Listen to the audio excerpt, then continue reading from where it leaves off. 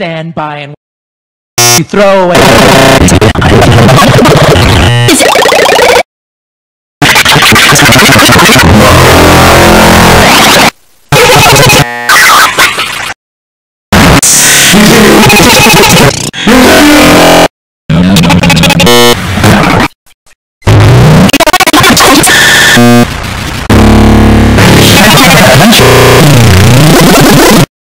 Hey, Trisha